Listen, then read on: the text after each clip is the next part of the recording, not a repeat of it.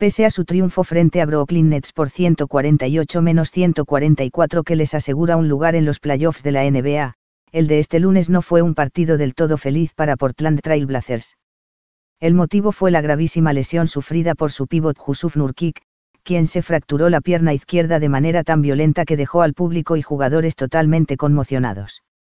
La escena fue estremecedora. El bosnio de 24 años intentó tomar un rebote en ataque en el tiempo de la segunda prórroga, después de haber logrado un doble doble de 32 puntos y 16 rebotes. Se me revolvió el estómago, dijo el escolta de los Blazers, Damian Lillard.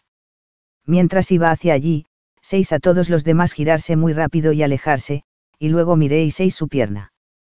Me voy a casa a rezar por él. Esto es mucho más que baloncesto. Conseguimos el lugar en los playoffs, pero ni siquiera podemos celebrar. Es una gran parte de nuestra familia, dijo Ernest Canter, pívot de su equipo.